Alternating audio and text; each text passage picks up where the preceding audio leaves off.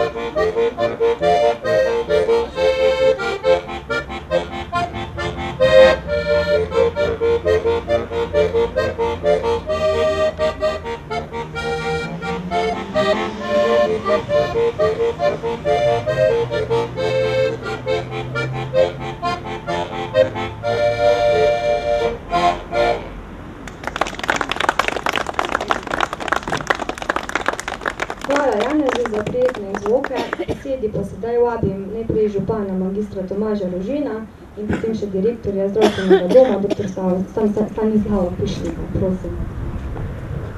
Spoštovani zbrani, lepo zdrav v imenu občine Ravne na Koroškem, spoštovani direktor zdravstvenega doma Ravne na Koroškem, lepo pozdravljeni na tej skromni prireditvi o pridobitvi eh, tega prenovljenega dostopa, vstopa v zdravstveni dom. Nazadnje smo se ob podobni pridobitvi eh, zbrali v zimskem bazenu, eh, ko smo predajali v okviru podobnih potez dvigalo, ki omogoča invalidom dostop tako v zimski kot tudi letni bazen. Danes smo drugič skupaj na en izmed potez, ki je občina povlekla v skladu s programom, ki vključuje in je kandidatura za naš Eh, projekt, da postanemo občina po meri invalidov. Kot sem že večkrat rekel, seveda ni namen tega certifikata, da ga pridobimo in uh, kljub temu, da ostala dan seveda že obveščam, da smo danes, ravno danes prijeli pozitivno pošto, da smo 17. občina v Republiki Sloveniji s tem certifikatom za invalidom prijazna občina. Kot podarjam, seveda je ta certifikat le odgovorno za naprej, da bomo uh, to ne zastavili kot projekt, ampak kot razmišljanje, kot način dela občine, ki je pozorna tudi do manjšin, med katere so nedvomno spadajo ali spadate tukaj zbrani invalidi. Tako da vsem, ki ste prispevali k temu, da danes uradno dobivamo, eh, seveda bo to posebna slovesnost, torej ta certifikat, ki ga nima vsaka izmed občin, ki je seveda mingre 212 v naši republiki. V tej priliki bi se seveda zahvalil direktorju zdravstvenega doma, eh, ki je prispeval pravzaprav polovico sredstev k tej investiciji, ki ni bila majhna, Mi smo seveda eno najpomembnejših inštitucij, oziroma najpomembnejša v naši občini na področju zdravstva, naredili uporabnikom občanom bolj prijazno tem štirim dispanzerjem, ki so na tem zgornjem panoju. In seveda eh, enotna ocena eh, članov sveta za invalide je bila, da je zdravstveni dom tako pomembna inštitucija, da ne tukaj pristopimo najprej. Program seveda se nadaljuje eh, in okolikor bodo se investicije tako velikega značaja, kot je ta plato, ki je stal nekje, kot ste že slišali, 30 tisoč evrov, se bomo so ponovno zbrali in podarili to našo zavezanost, da smo invalidom prijazna občina, ampak ne glede na to, na te pridobitve, seveda so spremembe tudi v glavah ljudi, morda tudi občinskih svetnikov, ki so danes zbrani, da eh, invalidom namenjamo posebno pozornost eh, s tem programom, posebno proračunsko postavko in pa seveda temi potezami, katere me eni danes tudi potrujemo. Hvala vam za odeležbo in pa vabljeni še na nadaljne aktivnosti namenjene tem programom.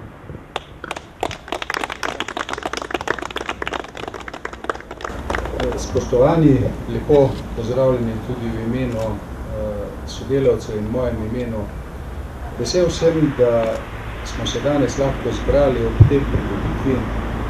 Namreč uh, v ostalih zdravstvenih postajah, v Črni, Žici in Prevaljah, smo lahko ob obnovah omogočili tudi lažji dostop za ljudi, ki imajo uviranosti, torej gibalne uviranosti le na ravnah smo lahko to omogočili zaenkrat samo v stari zgradbi, eh, kjer je tudi kar nekaj ambulant in predvsem tudi diagnostičnih dejavnosti. Tako da en velik del problema je bil rešen že tam, takrat, ko smo eh, tudi skupaj otvorili novo dvigalo in pa ustrezni, uh, ustrezni dostop tudi pri obeh vhodih v staro zgradbo. Eh, ta zgradba je bila zgrajena koncem 70-ih let. In sicer je po vsebini takrat bila druga dejavnost eh, kot pa sedaj.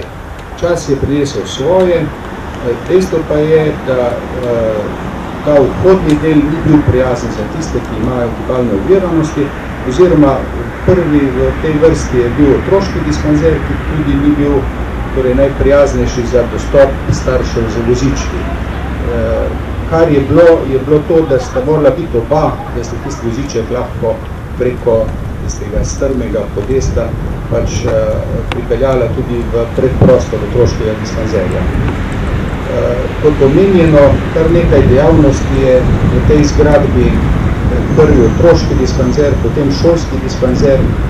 V teh prostorih je tudi dejavnost otorinolaringologija, in tako, da je pravzaprav tudi širši nabor tistih, ki prihajajo v to zgradbo, uh, sledi dispanzer za ženske in potem sta tu še dve splošni ambulanti. Tako da je res kar precej uporabnikov, ki smo jim na ta način zdaj olajšali dostop in pa uh, tudi ob razširitvi parkirišča omogočili, da bo lažje priti čim bližje k dejavnosti.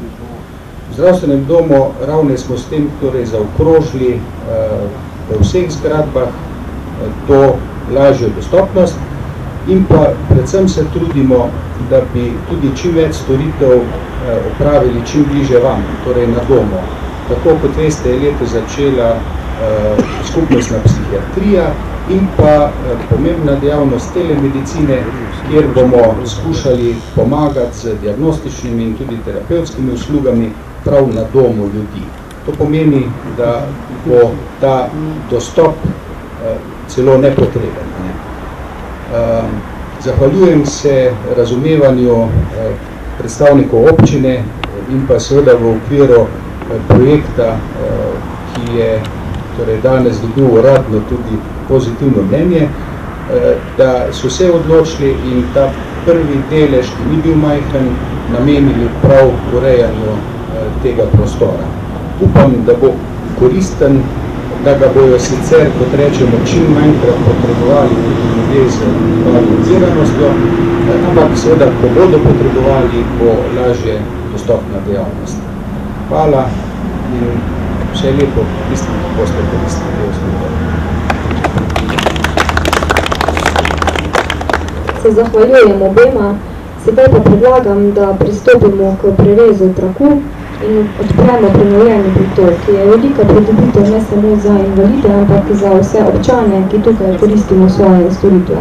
Prosim župana in direktorja, da simbolično prevežete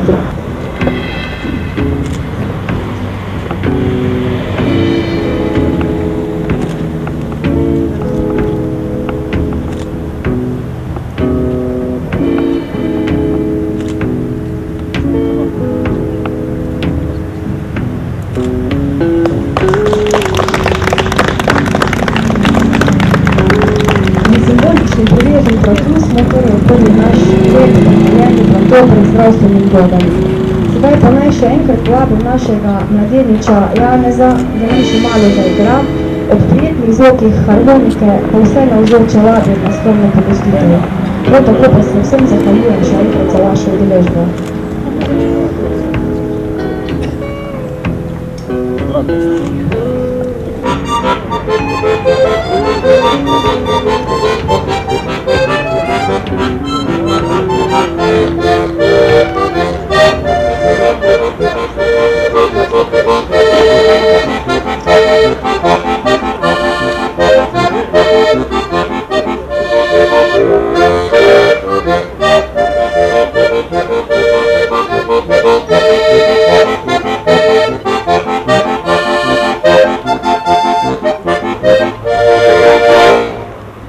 Tako mislim, da smo vsi, da lahko začnemo.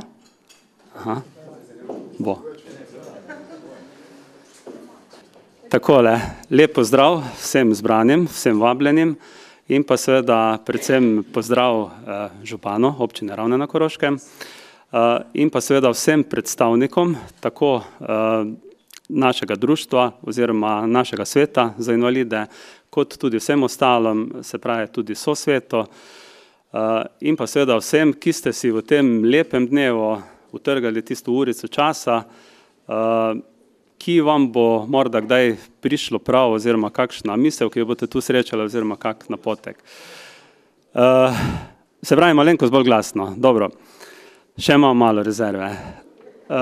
V okviru projekta Občina po meri invalidov smo seveda v letošnjem letu naredili kar dost na tem, da so se zmanjšale te arhitekturne ovire in o tem bo podrobneje v nadaljevanju predstavila gospa Darja Čepin iz občine Ravne na Koroškem. V tem uvodnem delu bom predstavil ta naš del, se pravi ta policijski del. In sicer tule imamo današnji dnevni red, ki bo nekoliko spremenjen. Predstavitev tega projekta, varnost pešcev s podarkom na ravnljivih skupinah, to bo današnja prva tema, uvedba občinske redarske službe, tudi predstavljena strani občine, varovanje šolskih otrok in v zaključnem delu, se pravi tistem delu, ki ga imam pa sam, pa bo seveda obnovitev cestno-prometnih predpisov, ki se bo dotikal tako tistih, ki ste udeleženci kot pešci, kot seveda tisti, ki ste udeleženi v cestnem prometu kot vzniki. Bi pa začeli z to tematiko, ki je še kako aktualna v mesecu oktobru in nekako do naslednjega meseca, nekako do januarja oziroma februarja v leta dva štirinajst. Takole, to so ti datumi, pri katerem policisti opravljamo te poostrene nadzore, se pravi te preventivne in pa represivne aktivnosti. Seveda pri tem nismo sami, ampak delamo skupaj s Svetom za preventivo. In v okviru tega imamo še v letošnjem letu, se pravi v tem mesecu in pa novembru ter decembru še vrsto teh preventivnih aktivnosti.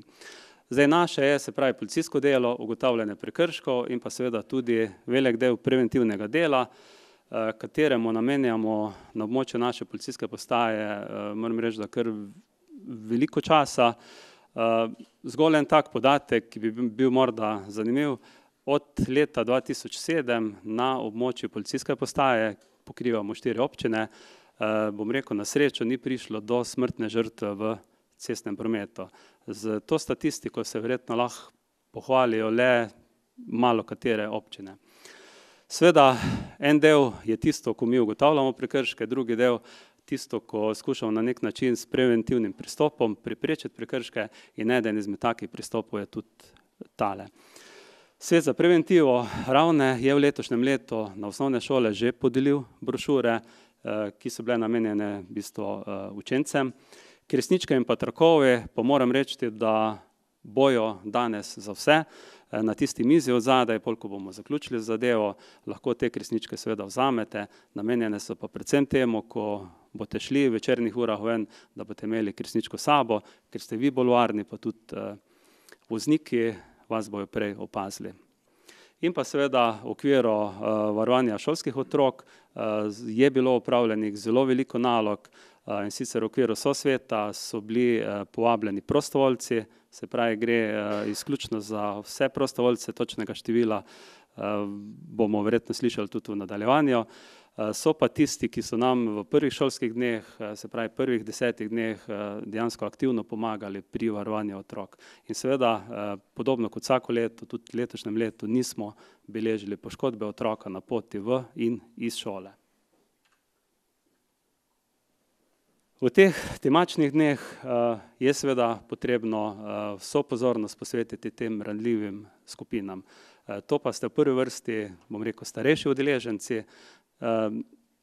predvsem pešci. Zelo, zelo pogosto se dogaja v zimskem času, da ste oblečeni temno, se pravi tudi sam pa tudi večina vas, verjetno ta zimska oblačila so temna. Dajte uporabljati, kolikor je, kolikor je mogoče, neka odsevna telesa. Zdaj bom dal en posnetek gor, se pravi vožnja v megli. In s tem se dejansko srečujemo vsi vozniki. Vidite sami, da vidljivost je seveda slabša, na desni strani imate tisto sliko pešca in seveda pešca bomo zagledali bistveno, bistveno prej, če bo opremljen s temi odsevnimi trakovi. Moram reči, da v zadnjem letu dobivamo teh odsevnih trakov in pa kresničk bistveno manj, kot smo jih dobivali v preteklosti, ampak moram reči, da smo že vsa leta malo varčevali in Svet za preventivo je to res lepo prišparal še za današnje srečanje, pa še imamo.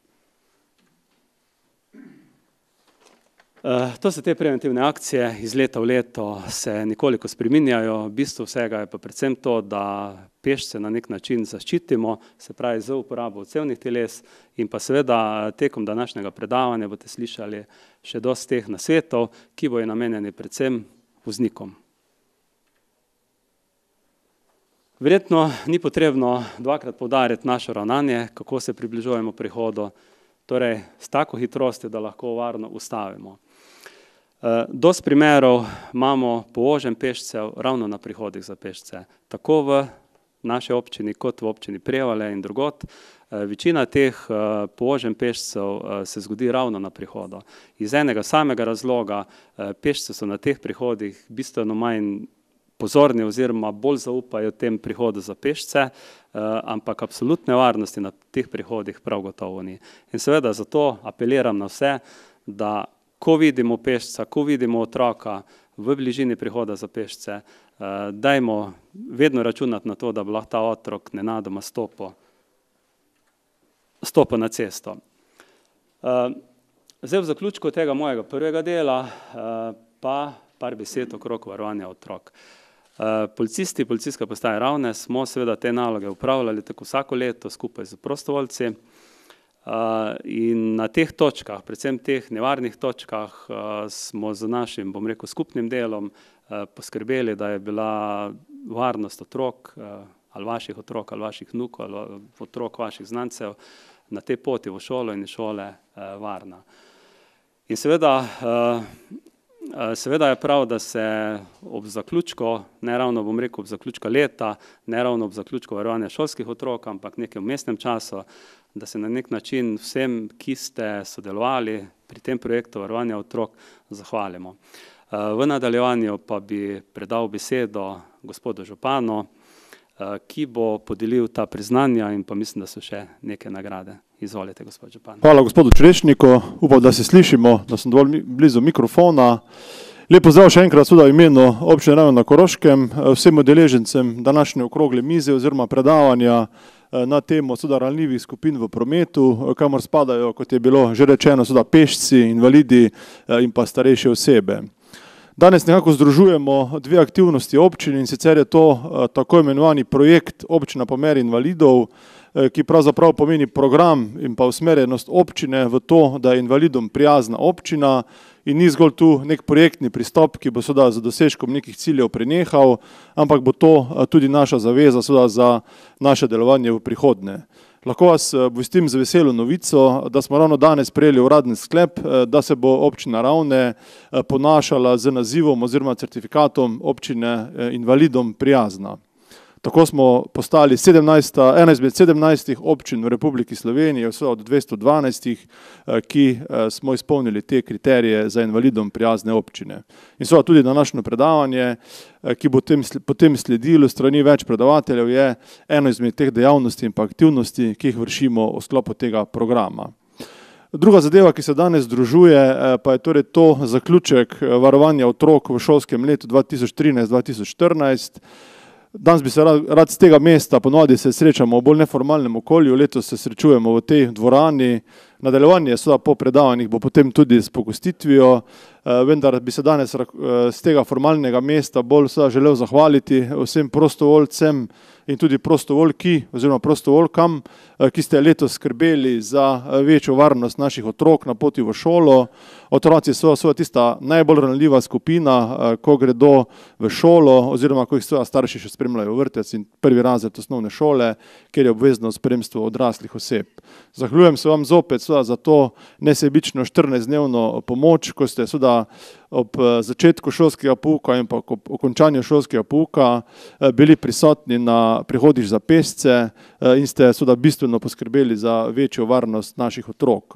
Hkrati bi se seveda poleg tega, da se zahvaljujem prostovoljcem, zahvalil tudi Policijski postaji Ravne, policistom naše postaje, ki seveda s podobnimi okroglimi mizami, kot je danes, in pa akcijami za varnost v cestnem prometu kažejo seveda neko drugo sliko policije, kažejo, bi rekel, po mojem mnenju neko sodobno vlogo policije, ki ni zgolj represivni organ, ampak je pomemben družbeni javni organ, ki skrbi za varnost prebivalcev naše občine, naše države, in se seveda obema policistoma in pa celi policijski postaji tudi zahvaljujem, da nas vseskozi podpirajo v skrbi za seveda vaše interese na področju seveda, ki ga oni pokrivajo. Ravno tako pa prihaja v mesecu, mislim, da februarju, zdaj je na izobraževanju občinski redar, je že zaposlen na občinski, medobčinski upravi Občine Ravne in Prevalje, po končanem izobraževanju in pa vmesnem času smo seveda nabavili vso opremo, bo tudi on povečal varnost in pa red v naši občini, tako tudi delno v cestnem prometu, predvsem glede parkiranja, parkiranja na invalidskih parkirnih mestih, kar nas vse skupaj zelo moti, da nekateri vozniki to počnejo. Skratka, vsem hvala za udeležbo na današnji okrogli mizi, posebna zahvala še enkrat prostovoljcem in prostovoljki, letos smo imeli eno gospo, ali smo imeli še več katero? Eno vem, ki so letos sodelovali v tej akciji, ko bova zdaj z Darjo še podelila simbolične nagrade, pogostitev pa najbrž veste, da sledi po tej prireditvi v kulturnem centru v enem gostišču. veste najbrž povabljeni, v katerem, in vam seveda želim dober tek in pa prijetno počutje in še enkrat upam, da lahko na vas računamo tudi v prihodnjem letu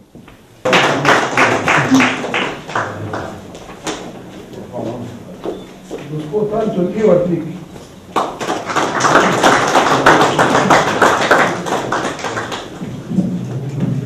Gospod Edvard Novak.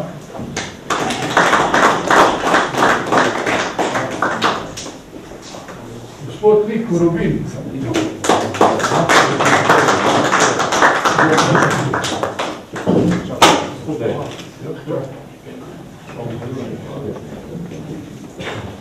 Thank you.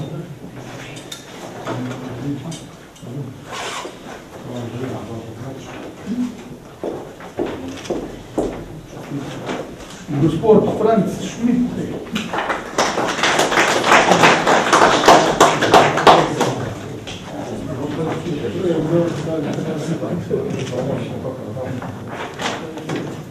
Gospa Majda Vališer.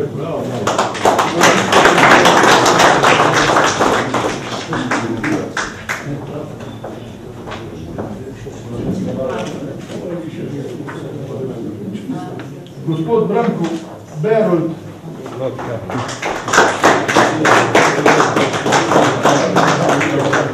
Gospod Branko Junger.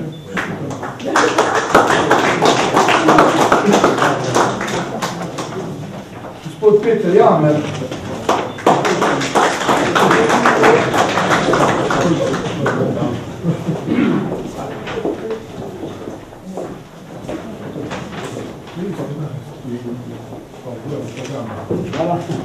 Kristjan Štajner.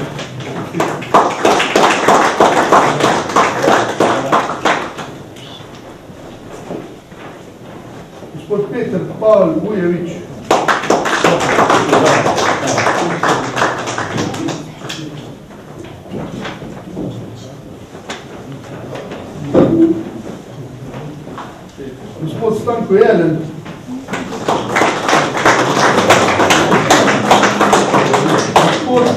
Melih, Melchior Kristan.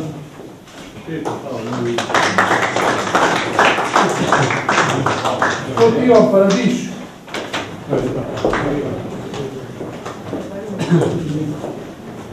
Uh, Gospod Slavko Slatinšek. To ni moje.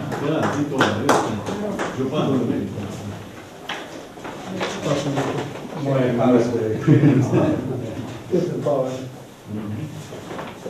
Gospod Miroslav Paškvan.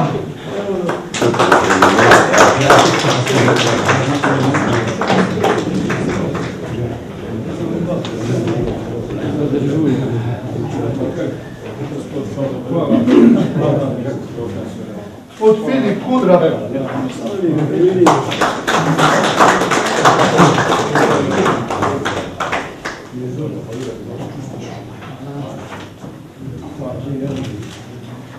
Gospod Milan Pipuš. Gospod Jakob Jelen. Gospod Stanko Kolenc. Gospod Ludvik Kotnik.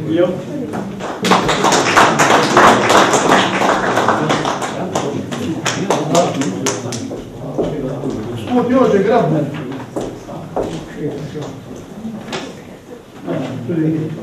Gospod Ivan Domko.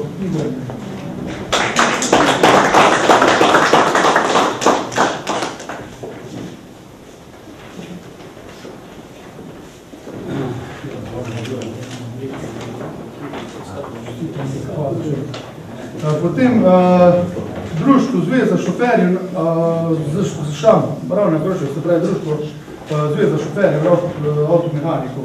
Prosim predstavnika, če pride. Črni, črni dve ravni.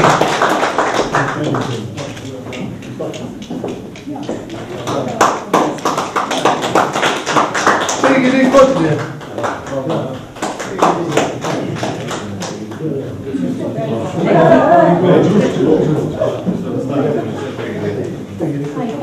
Kotlje. Uh,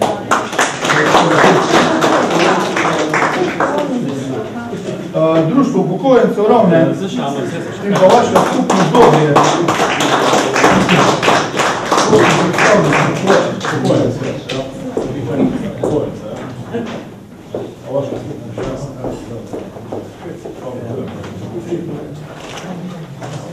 Vsi, ki ste dobili ta kot, uh, hvala. Vsi, ki ste dobili ta, te zahvale, uh, sem te potem vabljeni na pogostitev delalu. Hvala. Zdaj v nadaljevanju pa seveda vabim k besedi vodjo projekta občina Podmerje invalidov, gospoda Leto 2012 je delovna skupina aktivno pripravljala vso potrebno dokumentacijo. Pripravljena je bila analiza dejanskega stanja, kjer so nam pomagali prostovoljci Društva paraplegikov, ki so dobesedno celotno območje občine prevozili z uh, invalidskimi vozički, tako da so nas opozorili praktično na res skoraj vse ovire.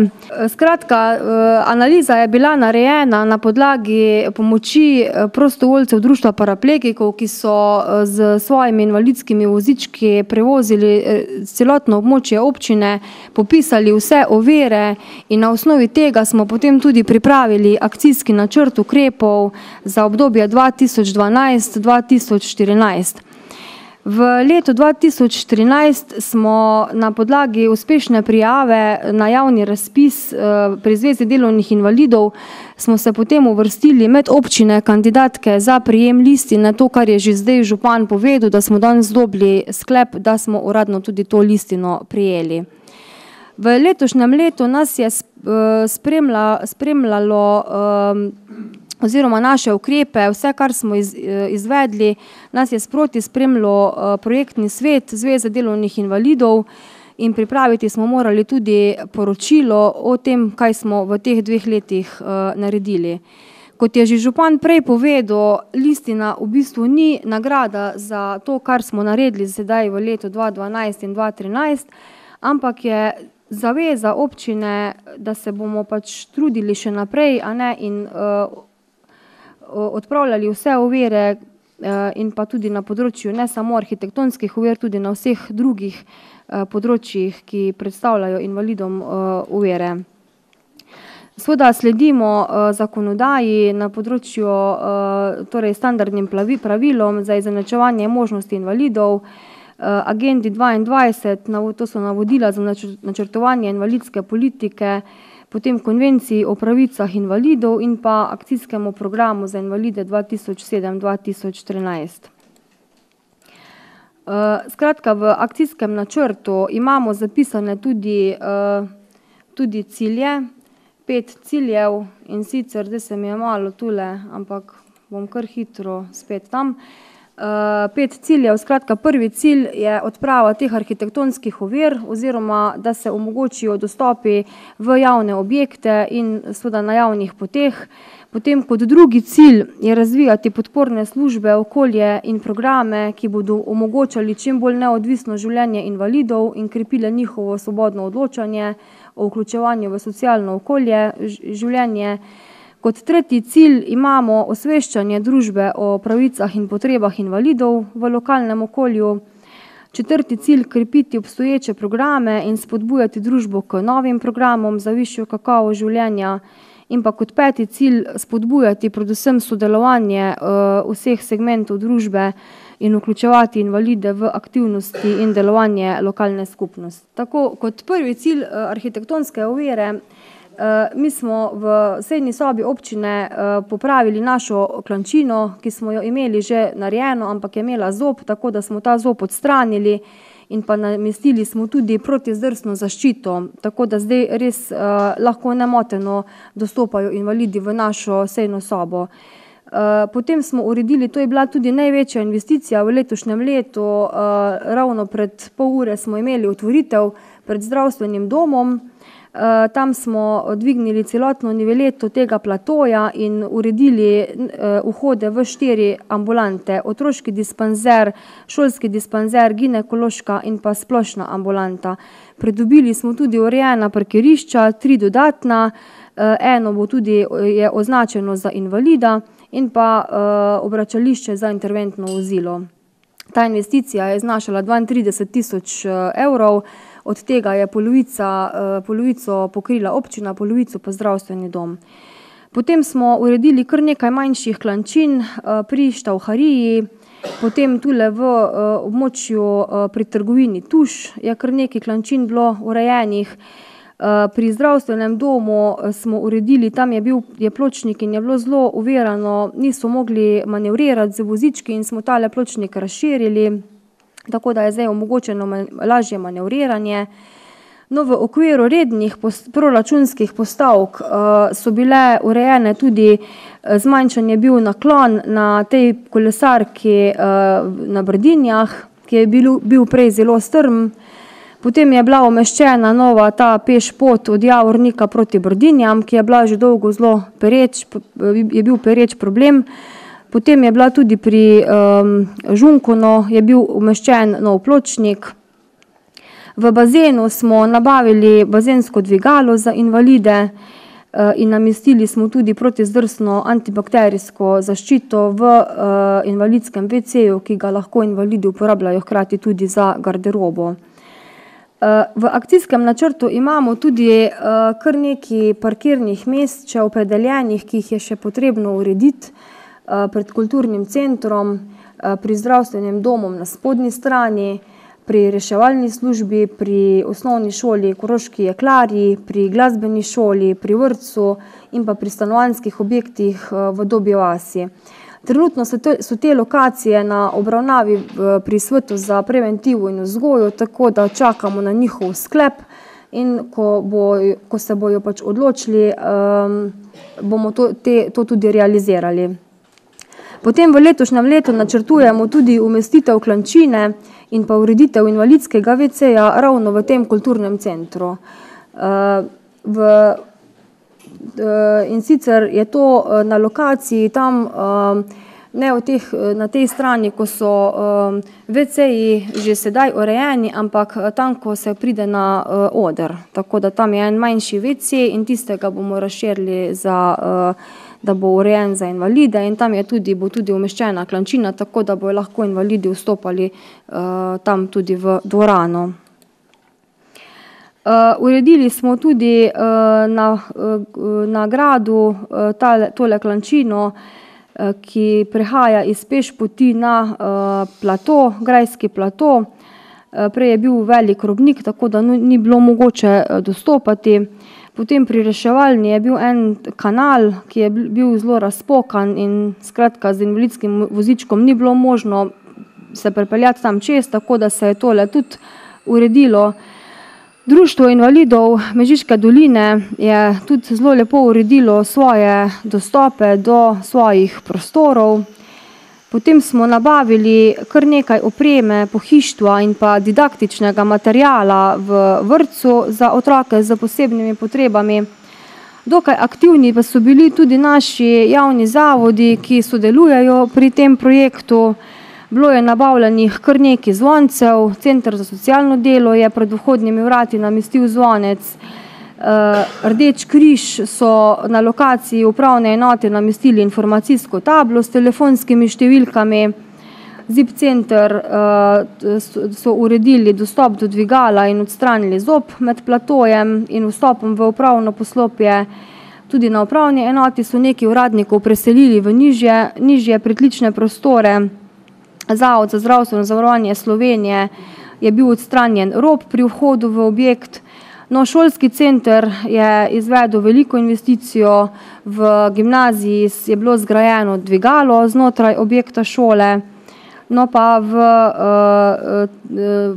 na Prežihovi štiriindvajset in pa na Prežihovi sedem, kjer pač uporablja več več organizacij te prostore, smo tudi namestili zvonce za invalide. Skratka, to je bilo pri prvem cilju arhitektonske ovire.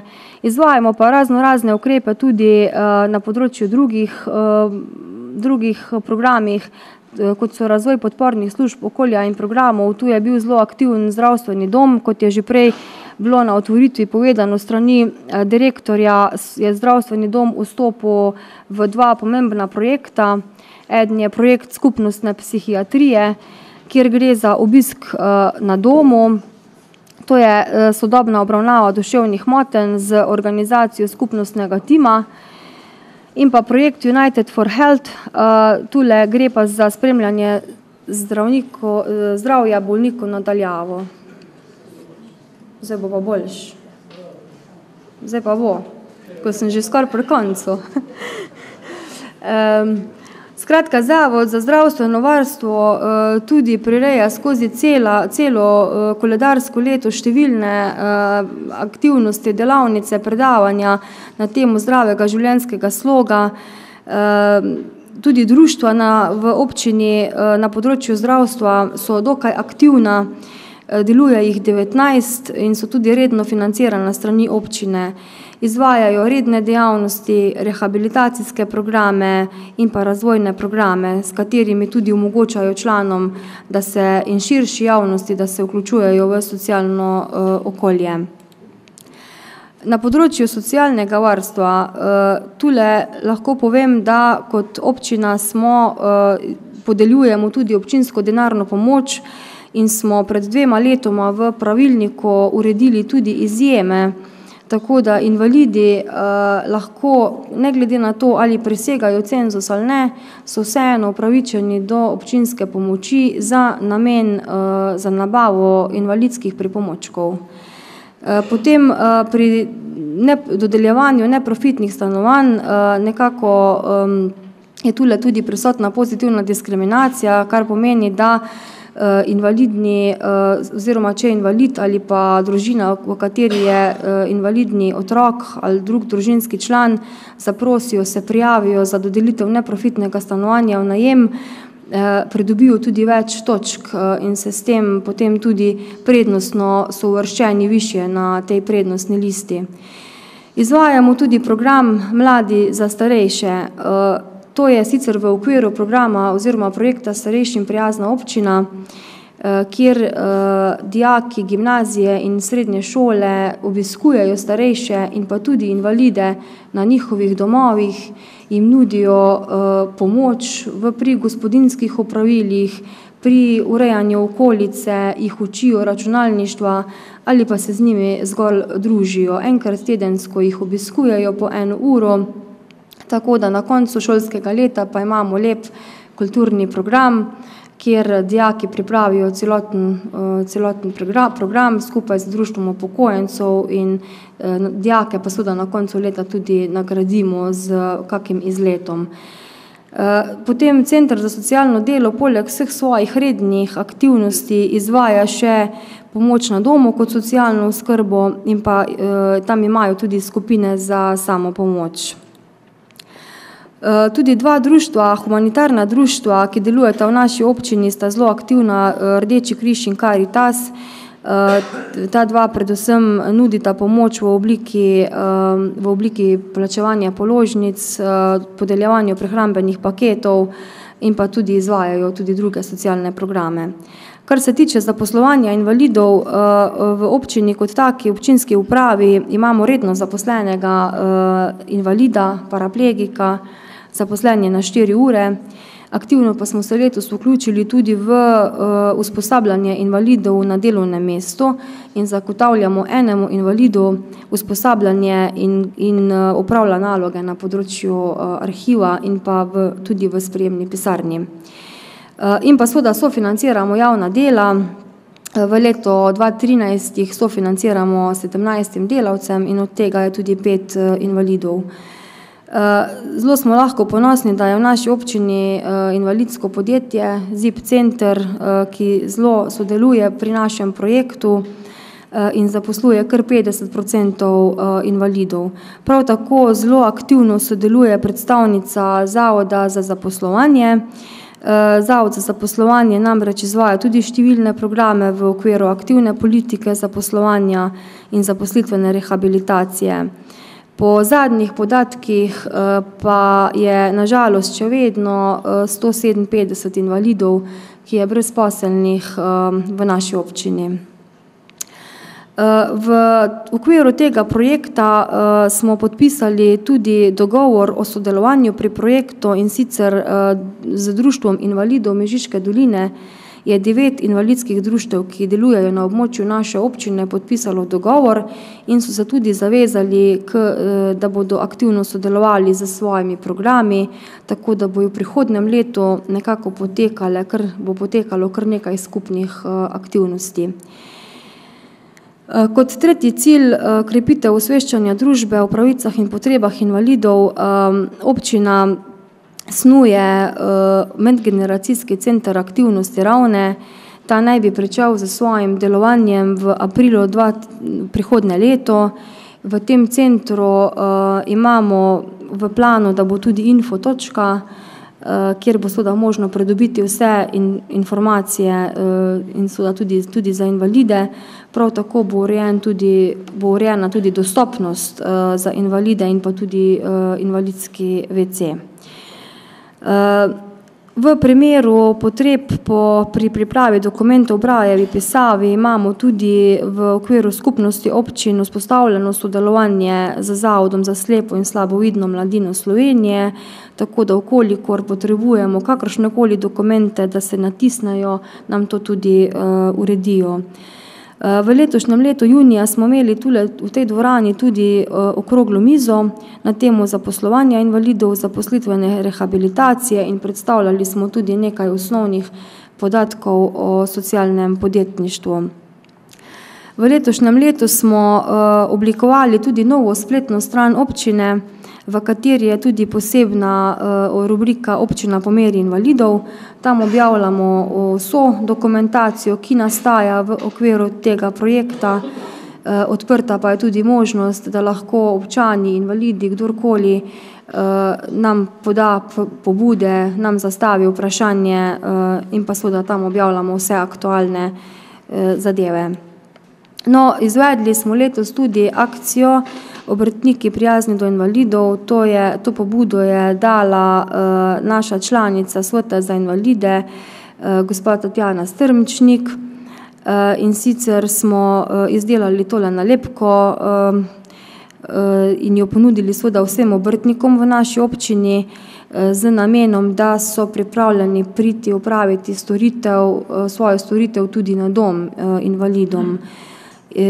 Od približno stotim obrtnikom smo te, smo to povabilo poslali. Do zdaj se nam jih je oglasilo sedemnajst in teh sedemnajst tudi so tudi uglašeni na spletni strani občine in pa na kabelski televiziji.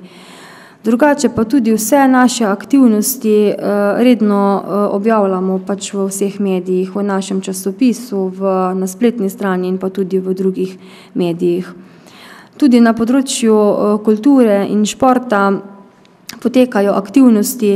Koroški pokrajinski muzej je uredil notranjo dostopnost v objektu, mi smo uredili zunaj klančino, tako da je sedaj dostop neoviran.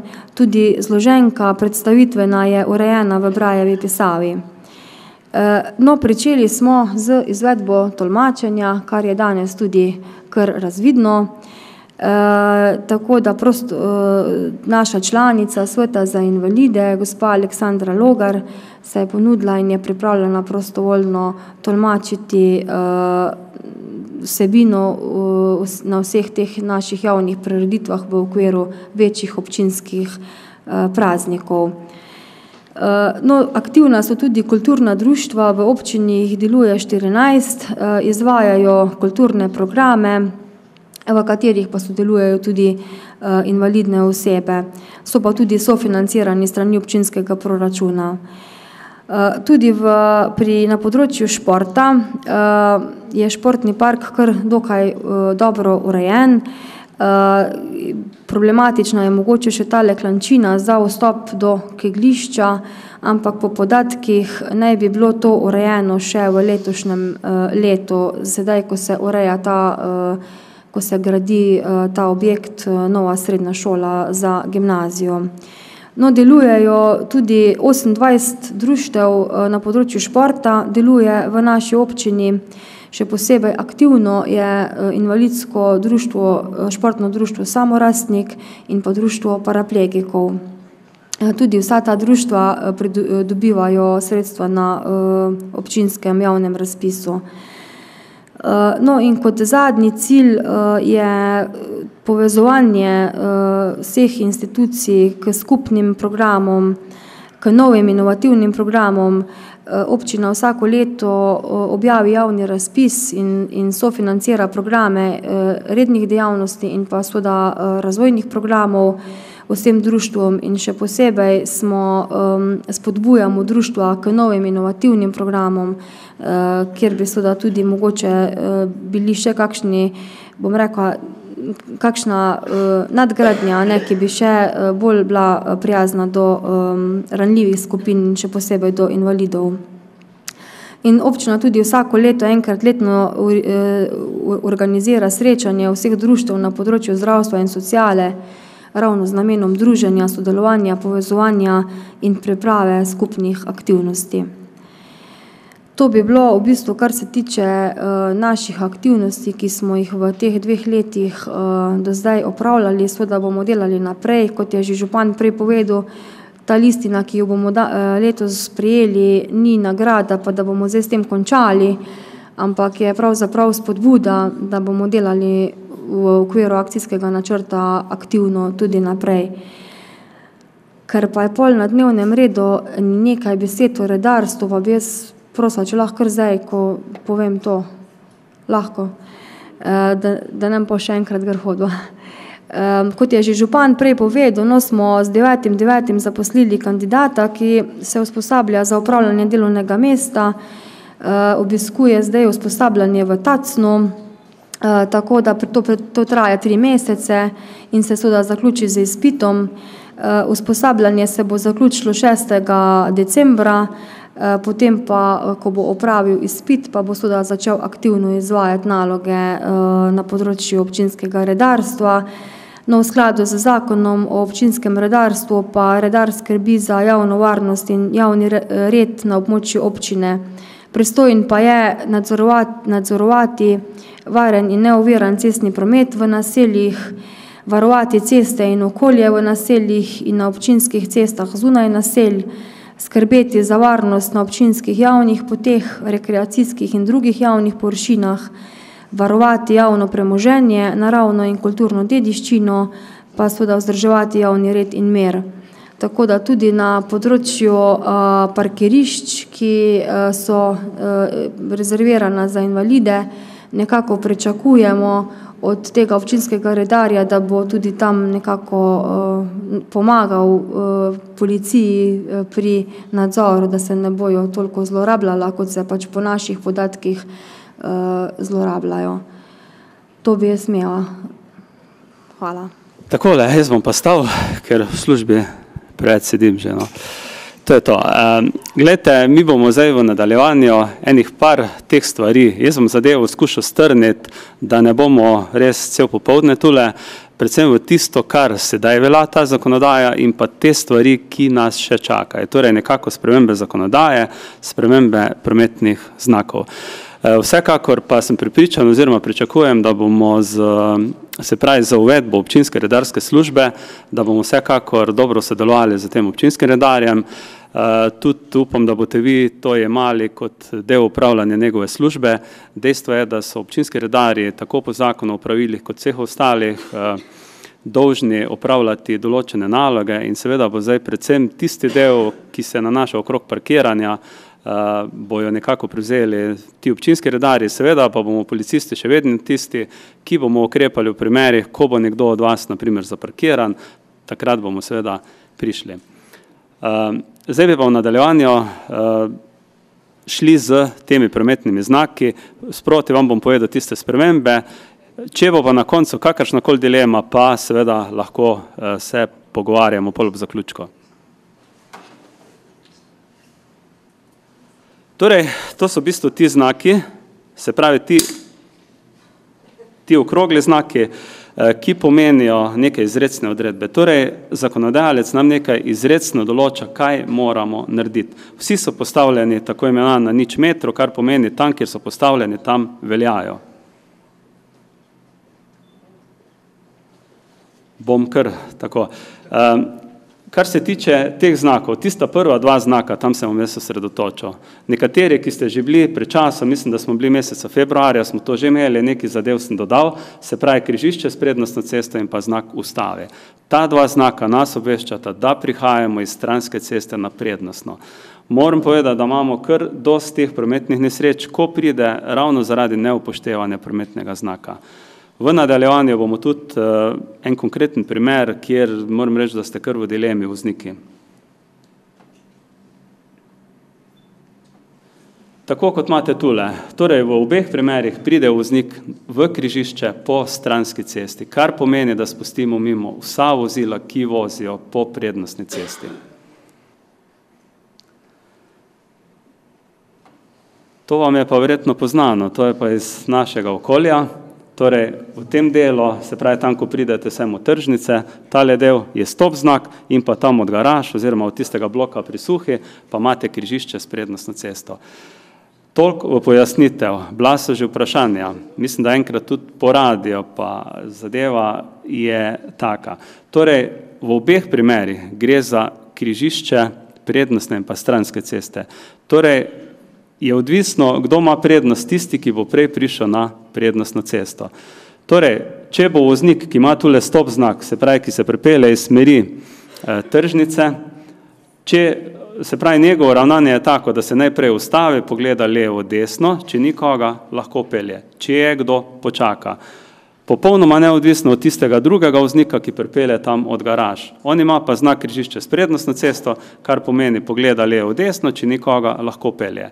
Torej, tisti tisto modro vozilo tam, ko je zraven križišča s prednostno cesto, on nima prednosti pred tem voznikom, ki bi tu prišel, ampak gre za dve ločeni križišči, ki moram reči, da sta malo nerodno narejeni, ampak tako je, vsako križišče je posebej.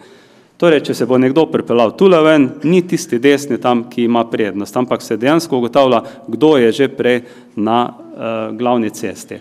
Zdaj moram reči, da v tem križišču smo že obravnavali, mislim, da eno, dve prometne nesreče, uh, doskrat privede do tega, se pravi, je nerazumljivo za vznike, ampak ni pa neka, bom rekel, tako imenovana črna točka, da bi imeli uh, policisti ne kakšne težave s tem križiščem. Ja.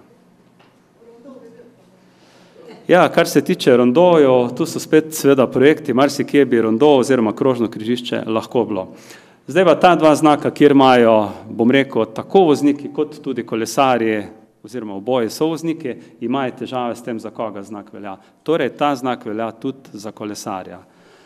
Uh, to gre za to peš pot, to je bilo sicer slikano še lansko leto, ste videli, to je lanski sneg, da ne boste mislili, da je že letošnja zadeva, glede na vreme, verjetno še nekaj časa bo trajalo. Torej, ta dva znaka veljata za vsa vozila. Torej, kdo se pravi, kaj je vozilo, kolo, kolo s pomožnim motorjem, motor, avtomobil in tako naprej. Pešci, ki so na rolerjih oziroma kotalkah, niso vozila. Tudi invalidi na invalidskih vozičkih niso vozila, ampak uporabljajo površine za pešce, torej jih tretiramo kot pešce.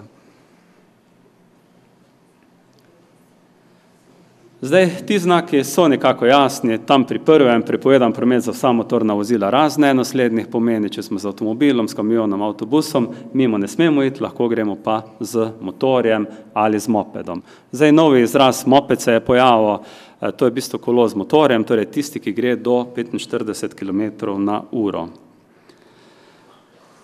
Tule imate pa en prikaz nestrpnega voznika. Jaz to sliko zelo rad pokažem, predvsem zaradi tega, da vidimo, kakšni ne smemo biti na cesti. Ne.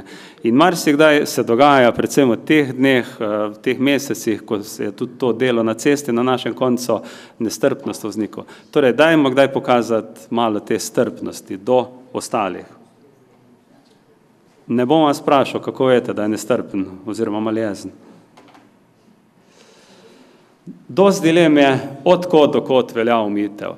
Glede, tako kot je že župan uvodoma omenil, policisti nismo zgolj tisti, ki bi nekako represivno delovali, ampak na nek način vam skušamo tudi olajšati to, bom rekel, predvsem poznavanje predpisov. Torej, seveda se z nami ne boste srečali na cesti zaradi prehitre vožnje, če boste poznali ta prometna pravila, odkot do kot velja omitev.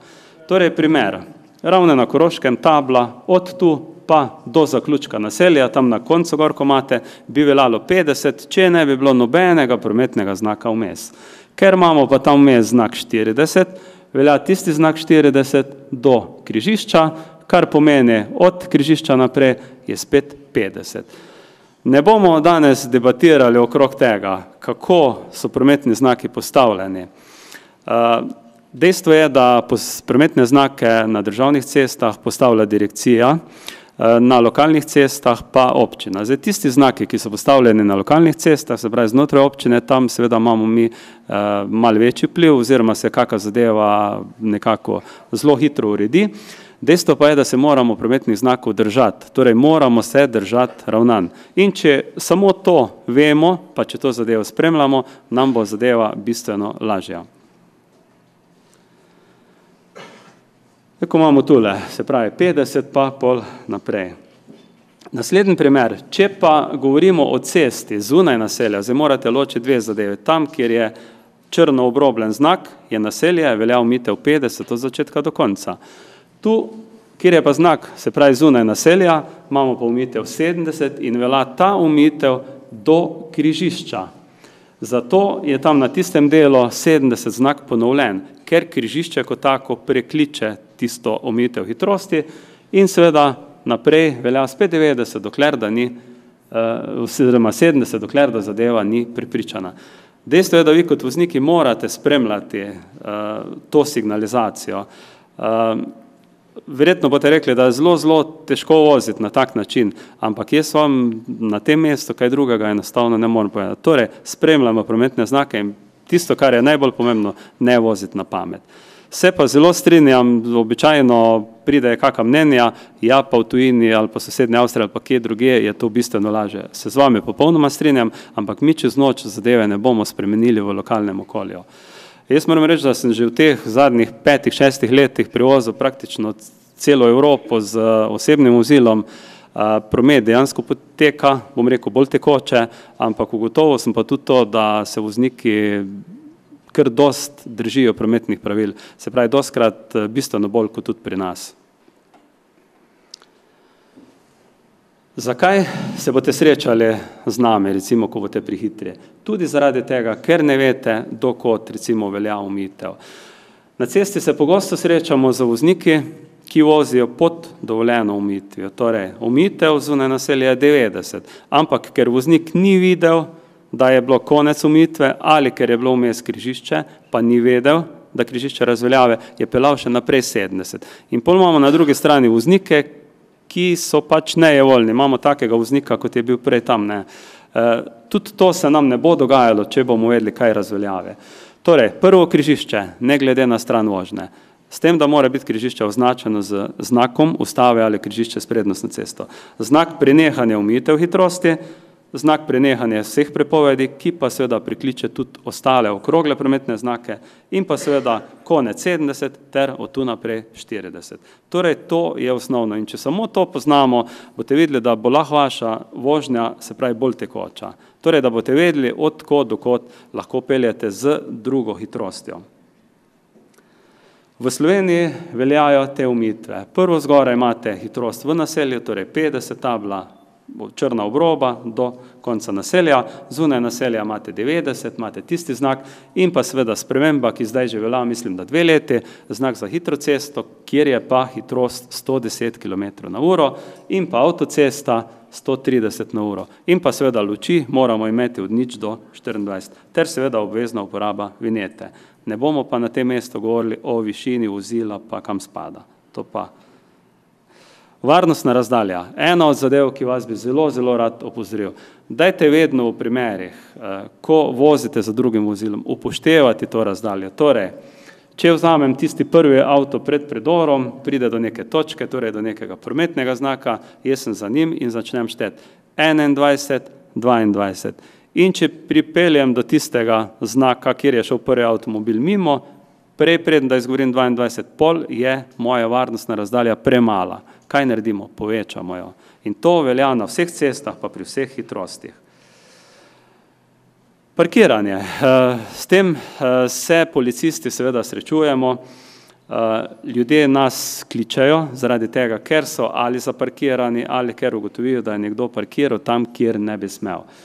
Tole gor imamo mesta, kjer ne smemo kjer ne smemo parkirati. Torej na prehodu za pešce, prehod za kolesarje, manj kot pet metrov od prehoda, pol na kolesarski poti in pa na razdalji manj kot petnajst metrov od železniške tirnice. Torej ena črta na znaku pomeni samo prepoved parkiranja, kar pomeni, da lahko ustavimo. Razlika med ustavitvijo pa med parkiranjem, pa je zgolj v tem, da ko jaz vozilo parkiram, ga parkiram in ga zapustim, ko pa ustavim, pa uh, sem še vedno v vozilo. Na mesto za invalide. Tu moram reči, da uh, policisti vsako leto imamo nekaj teh poostrenih nadzorov, torej predvsem parkiranje ugotavljamo na mestih, kjer so označena za invalide. Uh, Jaz sem prepričan, da z temi leti, se pravi in izobraževanje in govorenje o tem, zakaj so ti znaki namenjeni, da to upoštevajo vedno več ljudi. Eh, dajmo ta mesta pustiti seveda invalidom. Eh, sem tudi član sveta za preventivo in vzgojo v cestnem prometu občine Ravne, kjer moram reči, da vsako leto, eh, vsako leto označimo kako, kako ko prometno mesto za invalide, seveda pa ne moremo to narediti pri vsakem bloku, ampak da je vsaj na vsake tolk časa, se pravi v blokih, kjer so pač seveda, um, kjer bivajo, oziroma neposredni bližini, kjer bivajo invalidi. Doskrat imajo vozniki težave z tem znakom, se pravi te puščice. Pomeni, da od tu, kjer je znak postavljen, pa v naslednjih 600 metrov ne smemo ne parkirati, pa ne ustavljati. In doskrat se zgodi, da seveda vozniki parkirajo na teh mestih, pol pa seveda, ko pa dobijo obvestilo policije ali drugo leto občinskega redarstva, smo pa mi tisti, ki smo mu dali gor. Torej, mi smo krivi za to, jaz pa pravim, da nismo ne.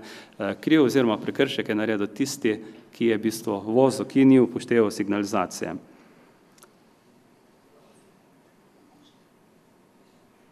Parkirni prostor za invalide. Uh, takole, zdaj od tu naprej uh, vas bom pa seznano, bom rekel zgolj informativno, s zadevami, ki nas čakajo. Jaz sem pred časom, par dni nazaj, ko sem malo zadev pripravljal, uh, sem zasledil en članek, ki je bil objavljen na internetu, da so pričeli veljati nove prometne znaki, kar pa ni res. In sicer pravilnik o prometnih znakih in prometni signalizaciji še ni bil sprejet, je v obravnavi, v pravilniku je nekaj znakov, ki jih do sedaj ni in ki jih, s katerimi se bomo srečevali, če bo seveda v taki obliki. Bom pa zdaj izkoristil to priložnost, da bom tiste najpomembnejše znake uh, nam predstavil.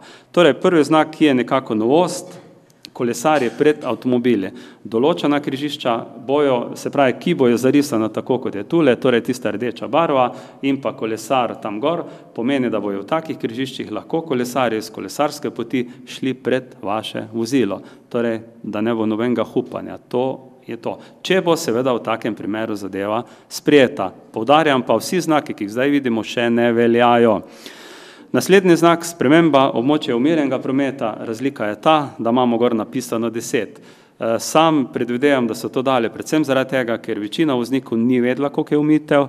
Naprimer, iz izkušnja vam lahko povem, da večina voznikov misli, da je tu 30 in če mi mislimo, da je 30, peljemo še malo več, boste peljali 40, pa če bojo tam slučajno policisti, boste dobesedno ob vozniško dovoljenje, ker je zagroženo tako število kazenskih točk. Torej, poznavanje predpisov je še kako pomembno. V megli 40, kar pomeni, koliko bomo videli tiste črte, bomo pelali 40, torej ena pika 40. Pol od spodaj imate uh, tisti reševalni pas, spodaj levo, kar pomeni, če pride do prometne nesreče na avtocesti oziroma na hitri cesti, vozila na levem prometnem pasu gre na levo stran, vozila na desnem pa na desno, ampak podarjam ne na odstavni pas, ampak na desno stran. Vidite pa novost, uh, prva dva znaka sta zelo podobna avtocesti, ampak to se bo pol imenovalo.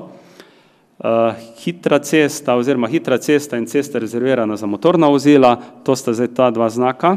Uh, spodno že poznamo, kjer je zdaj 110 km na uro, za spremembo zakona bo na teh cestah 100, mislim za spremembo, ko bo pravilnik veljal, in pa seveda tam znak za hitro cesto zgore, začetek in pa konec. Se pravi, to so te stvari, ki še, ponovno podarjam, ne veljajo, to so zgolj predloge.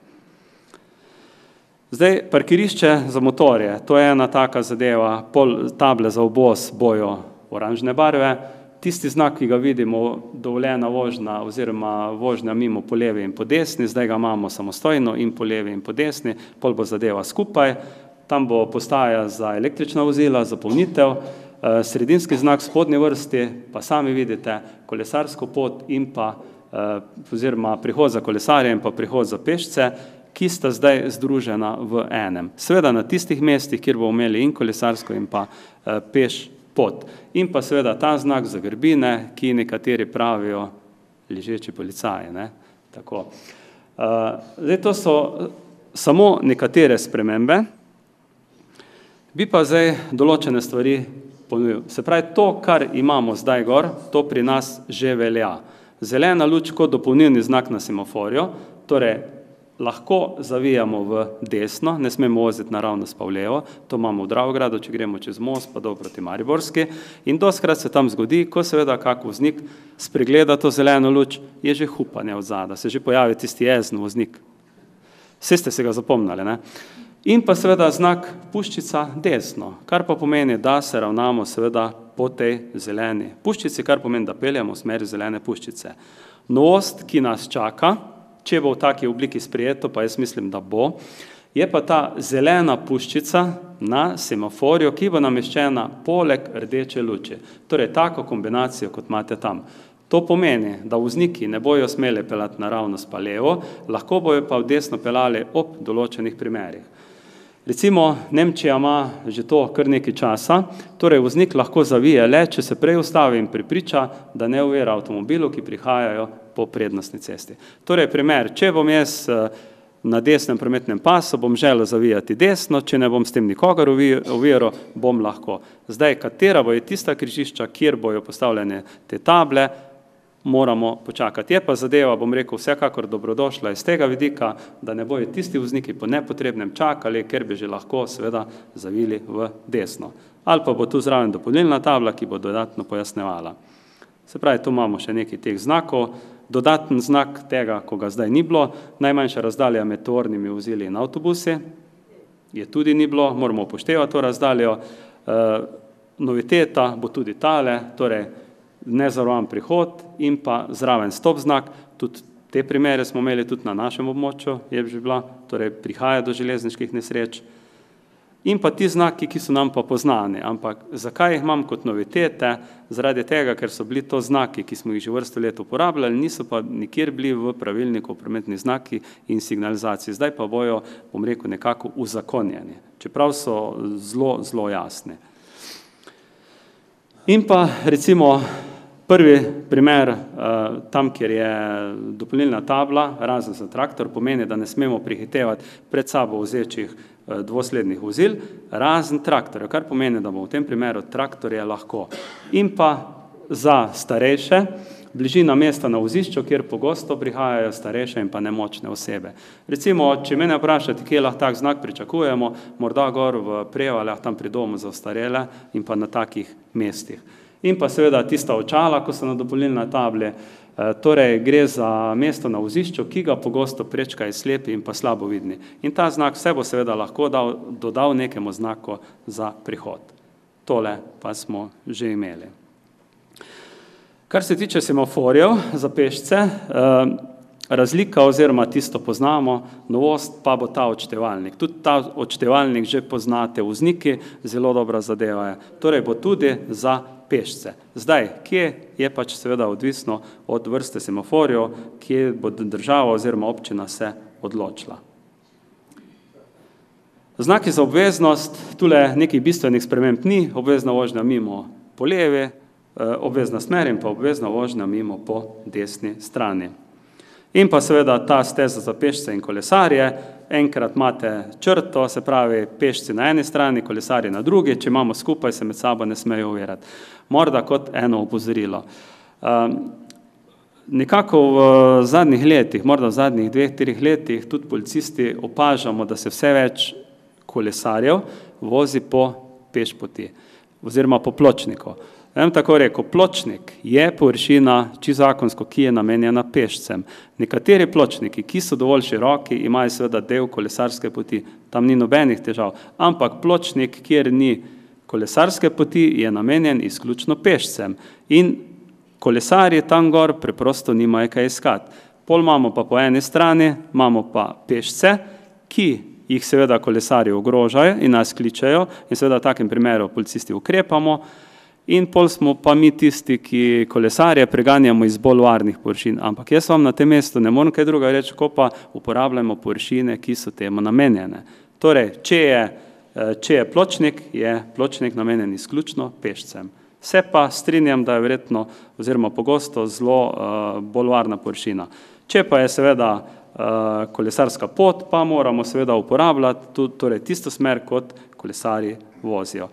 Posebej bi pa opozoril vse voznike, tale znak, ko je konec kolesarske poti in pa poti za pešce, ta znak ni samo za kolesarje, ampak je to znak za nas kot voznike, da bojo ti udeleženci prišli na cesto. In seveda moramo tudi vozniki to upoštevati. Kar se tiče teh kombinacij dopolnilne table, torej čez 600 metrov je križišče s prednostno cesto, da vemo, kaj pomeni. V drugem primeru desno pa pomeni, da bomo čez 100 metrov ustavili, ampak še vedno prihajamo na prednostno cesto. Torej, nekatere določene stvari so seveda za vas kot udeležence pomembne. Zdaj bomo pa šli, samo da si pripravim na znake za nevarnost, nekaj tistih znakov, uh, pa samo našo krožno križišče v ravnah, vse ostalo pa pol, bom rekel, v tem drugem delu, neuradnem, tisti, ki želite, morda kakršnakoli vprašanja, da res ne bomo pol predolgi.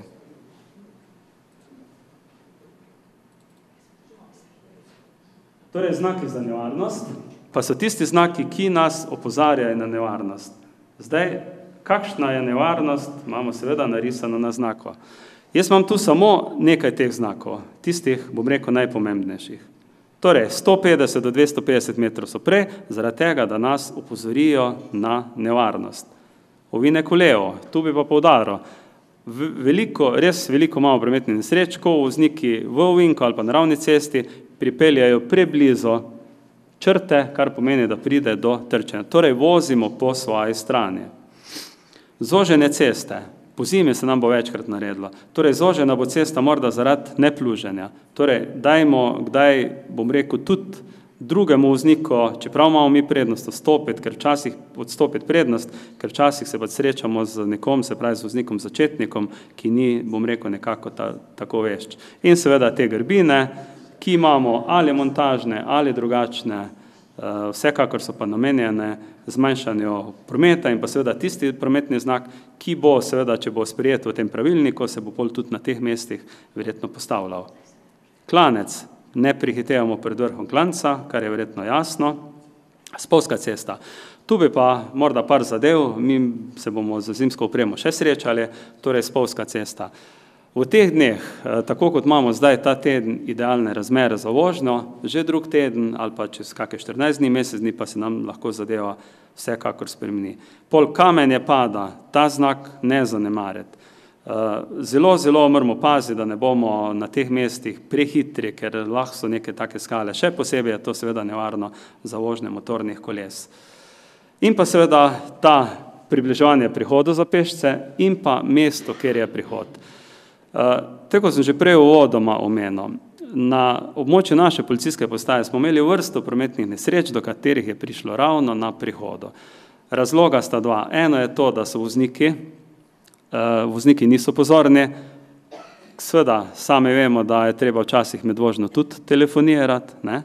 Vsaj nekateri, no, in seveda naše misli tam niso na cesti, nenadoma bomo prišli do tega mesta in seveda bomo spregledali še tisti znak, kjer je prihod in lahko seveda pride do trčenja. Posebna pozornost, se pravi v vseh sredinah, kjer imam tak ali drugačno predavanje, seminarje, dajemo seveda povdarek, eh, predvsem, da naj pazijo na starejše in pa tako imenovane ranljive udeležence, otroci in pa starejši. Vemo, da pri otrocih je tisti problem, da se ne pripričajo, vidno polje imajo nekoliko ožje, pri starejših je pa problem to, da se ne boste v trenutku mogli umakniti. Zdaj vam en tak lep primer, kako so vozniki strpni do pešcev. Ti pešci so v tem primeru uh, nekoliko drugačni udeleženci, ampak taka zanimiva luška na slika.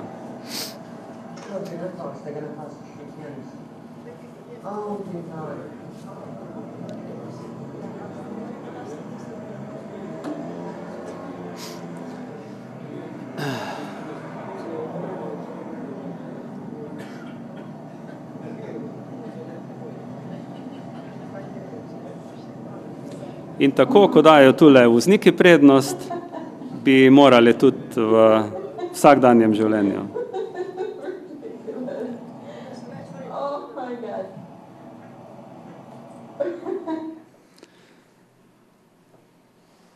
Tale znak smo že imeli, pol divjad na cesti, tudi zelo pomemben znak, dajmo ga upoštevati, delo na cesti in pa seveda to križišče enakovrednih cest, kjer veljata desno pravilo pa pravilo srečanja.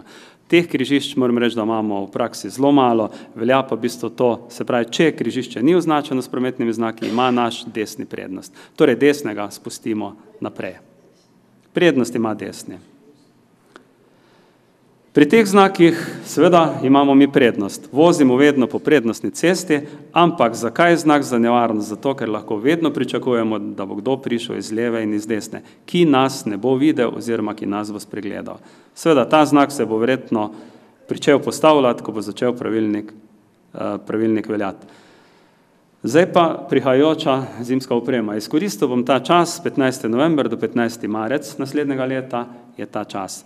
Torej, kaj je zimska oprema? Večina od vas, tisti, ki vozite, torej osebni avtomobil do tri tone pa pol, štiri zimske pnevmatike M plus S, minimalno tri milimetre profila ali štiri poletne pnevmatike plus verige prtljažnikov, ki jih date gor po potrebi. S tem, da bom rekel, letne pnevmatike seveda se drugače obnašajo, če je le možno, dajte poskrbeti za zimske, pa ne samo minimum tri, ampak seveda tudi malo več.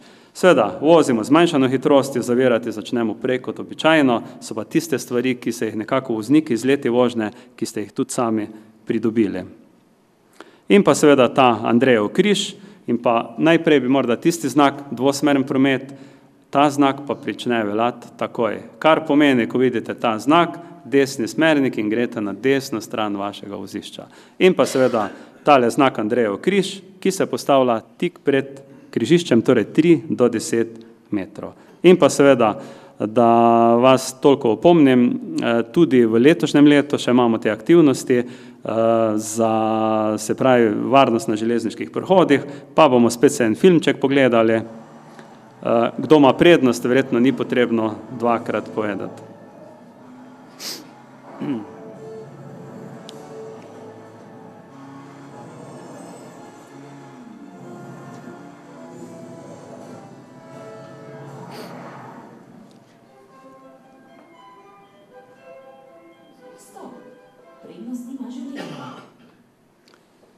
Takole, in pa seveda ti znaki, ki so zelo pomembni, torej tisti znak čez dvesto štirideset metrov bo nezavarovan prehod, čez sto šestdeset, pol čez osemdeset, na koncu pa imamo tisti znak. Če pa imate prvega z leve, pa to pomeni, da smo policisti že na kraju, ker je to na triopan znakov.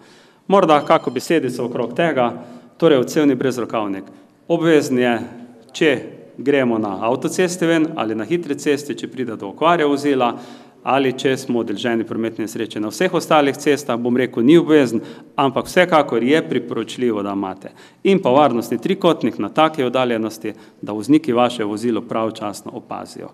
Zdaj pa gremo še samo tole vaše oziroma naše Ravnško križišče, kjer moram reči, da nimamo, se pravi, na policijski postaji ne beležimo nekega povečanega števila prometnih nesreč zaradi tega križišča, ampak prihaja včasih do nejasnosti. Takole. Torej iz smeri Dravograda imate napisano prvi odcep proti železarni, pol imamo Prevale, občina in pa center v Ravne. Torej pravila so, bom rekel, zelo jasno napisana, v praksi pa je večkrat problem iz enostavnega razloga, ker imamo te odcepe zelo, zelo blizu skupaj. Če grem na tole zadevo, evo, to se bo morda malenkost boljše videlo, torej če se pripeljemo iz smeri Dravograda, je lahko voznik na zunanjem pasu, če gremo proti železarni Ravne in pa s spremembo zakona o pravilih, približno leto pa pol zadeva velja, je lahko voznik, če je krožno križišče majhno, kar Ravnško prav gotovo je, lahko ostane tudi na zunanjem pasu. Kar pomeni nekako do polovice križišča, torej iz Dravograda proti Prevaljam, lahko ostanete tudi na zunanjem pasu. Isto velja za tovorna vozila, torej tudi pri tovornih vozilih je tako. Zdaj, pravila so jasna. Torej, voznik, ki zapelje v krožno križišče, spusti mimo vsa vozila, ki vozijo v krožnem križišču. Torej, voznik, ki gre ven na prvem izvozu, ostane na desnem pasu, voznik, ki gre ven na katerikoli drugem vozu, izvoz, gre takoj znotraj. Pol so pa zraven dodali, torej gre takoj na notranji pas, razen če je krožno križišče majhno ali če je zaradi konstrukcije vozila to oteženo. Kar pomeni, tako zdaj omenjeno nekako do polovice, lahko ostanete tudi na zunanjem, ker je krožno križišče majhno. Seveda je pa čist pravilno, da greste na notranji pas, pa direkt ven. Jaz moram reči, da pri določenih uh, delih se da težko voziti, ampak če pa vzamem, iz, da greste iz trga ravn, pa greste gor proti policijski postaji, recimo proti prevalam, se da pa zelo lepo pelati. Torej greste takoj na notranji pas, vozite po notranjem, ko smo nekako tule pri tem odcepu pri železarni, gremo iz notranjega na zunanji pas, ter iz zunanjega zapustimo. Zapuščanje je pa vedno iz zunanjega. Evo, če zdaj grem na to zadevo. Torej, to, voznik rumenega je pravilno naredil, samo mora paziti, da, ma, da ne ogroža voznika rdečega. Torej, šel je iz notranjega na zunani pas. Tu pa moram reči, jaz se vsakodnevno vozim na tem delu. Večina voznikov pele direkt ven, torej tu in direkt gor. Torej, ne gre najprej na zunani pas. Jaz vem, da je včasih to težko. Težko je zaradi tega, ker imate ogromno mrtvih kotov. Težko je zato, ker vas vozniki ne spustijo not. Čeprav greste vi pravilno, greste na notranji pas, pa pol drugega pričakujete. Ampak tu bom pa rekel, da je tista kultura voznikov, na kateri moramo še delati. Ne. Torej, dajte kdaj tudi komu, bom rekel, odstopiti prednost. Čist pravilno je pa seveda ta prikaz. Torej, voznik tega zelenega vozila, takoj na zunani pas, vsi ostali najprej na notranji pas in pa seveda vozijo po notranjem, ko so mimo odcepa, dajo smernik, gre na desni pas in zapuščajo. Če bo prišlo do trčenja tu, da boste vi šli direkt iz notranjega, boste vi krivi, ker ste vi spreminjali smer. Tako da dajte to zadevo upoštevati da se voziti, ker sam moram reči, da dnevno, dnevno se vozim, gre, ampak vedno, vedno pač ne, predvsem zaradi tega, ker ostali vozniki ali ne želijo ali pač eh, ne poznajo teh prometnih pravil. Eh, moram pa reči, da ni, eh, ni kot neko karambolno točko, da bi rekli, zdaj smo policisti vsak dan tule, ne daleč od tega. Ne. Torej, kaj naredimo, če smo mi na zunanjem pasu? Tako rdeč tule, bom rekel, vozi napačno po zunanjem in seveda tisti zelen se ne more vključiti. No. Če vas voznik na zunanjem pasu ne spusti not, naredimo še en krok. Nikakor pa ne stati, voziti zratno ali karkoli drugega. Marsikaj, eh, z marsičem se srečamo. Ehm, kar se tiče poznavanja prometnih pravil, eh, jaz eh, se pravi v okviru policijske postaje, se, bom rekel, že kar nekaj let trudimo, dvigniti ta nivo zavedanja in seveda glede na to, da ste danes eh, tule, bom rekel, večina te starejše populacije, katerim je ta zadeva tudi namenjena, eh, vam predlagam oziroma ponujemo to zadevo v taki ali drugačni obliki, eh, še seveda bolj podrobne prometne predpise, v katerikoli sredini, če boste zadevo potrebovali, se lahko slišimo, to zadevo vam seveda naredimo brezplačno, je pa zadeva namenjena predvsem, bom rekel, temu osveščanju. Jaz mislim, da dolgoročno z temi leti, se pravi z tem izobraževanjem, bomo na nek način uh, naredili en premik, pa tudi, če samo, bom rekel, na tej lokalni ravni. Uh, zdaj, jaz uh, ne bi zadeve podaljševal tega uradnega dela, predvsem zaradi tega, ker smo nekako rekli tam uro 20, In moram reči, da smo kar nekako speljali skozi, čeprav imam še kar dost več stvari pripravljenih, ampak vem, da mi boste vmes že zadremali, pa vreme je zelo lepo. Eh, če pa je kakršnokoli vprašanje zdaj v tem zadnjem delu, eh, gledajte, ni, pa, ni problema, vam bom skušal na to zadevo pojasniti. Predvsem bi pač nekako apeliral na vas kot vznike, eh, Policisti smo seveda tisti, ki v prvi vrsti ugotavljamo prekrške, eh, torej z našim nadzorom, z našo prisotnostjo, eh, skušamo skrbeti za umirjanje prometa, ampak eh, brez tega, da se boste vi kot vozniki ali pa kot pešci držali prometnih pravil, bomo mi imeli preveč dela. Kar vam svetujem, da bolj se boste držali prometnih pravil, manj dela boste imeli in tudi mi. S tem bom rekel, da je ta, bom rekel, uraden del današnjega srečanja, današnjega predavanja nekako zaključen. Da ne boste rekli, da smo vas držali tri ure tule, zdaj pa vprašanje, imamo časa, ni panike. Glede v Ljubljani, ko je tu na staro cesto, če bi tam je, da je tri pasovnica, in tam je izredno slučajno, da to ni poznano. To izredno intro držiš pasa, ne. In pore se ne moreš, to sem se mi pri tri, štirikrat okrog prvo, Uh, verjamem. Zdaj, uh, eno zadevo sem mislil prej omeniti, ampak mi je malo ušla, vožnja po nasprotni strani avtoceste. Večinoma teh voženj naredijo starejši vozniki. Naredijo jih pa predvsem zaradi tega, ker seveda sami vemo, z leti so naše sposobnosti nekoliko slabše in marsikdo, ki tudi ni navajen, ni navajen teh mestnih voženj, se mu to preprosto zgodi. Torej moramo pač zelo, zelo spremljati te obvestilne table, uh, ravnati se po teh tablah, uh, Zdaj recimo, če ste gledali tule Varje vasi, so ravno s tem namenom, da ne bi vozniki vozili v nasprotno stran po avtocesti, so naredili tiste rumene plastične pregrade, ki na nek način preprečijo, se pravi fizično preprečijo, da bi pelali na, po nasprotni strani. Prosim, še eno vprašanje.